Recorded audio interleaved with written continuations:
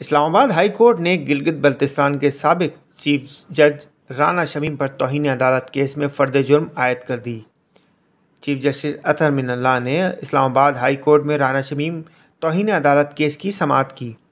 Attorney general Khalid Javed Khan, additional attorney general Qasim Wadood, अदालती माविन Nasir Zaidi, Faisal Siddiqui, Reema Umar, Rana Shamim, the news के editor in chief, editor investigation Ansar Abbasi और, और journalist association के सदर साकिब बशीर अदालत में पेश हुए।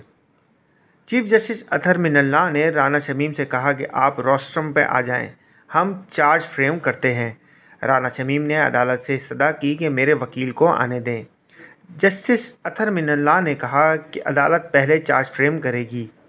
सबक जज गिलगित बल्तिस्तान राना शमीम ने कहा कि मेरे वकील अब्दुल लतीफ़ आफरीदी एडवोकेट मोटरवे पर हैं। जो कुछ देर में पहुँच जाएँगे। Chief justice Islamabad high court Athar Minallah ने कहा कि अदालत की बहुत बेतौकीरी हो गई है। बहुत मज़ाक हो गया। आप बता दें कि इस अदालत के साथ किसी को कोई प्रॉब्लम है? इस अदालत से मुतल ही तमाम बयानिए बनाए गए हैं। रामनाथ शमीम ने फिर इस सदा की कि मेरे वकील आ जाएँ तब तक इंतज़ार कर लें। Online digital TV, Islamabad.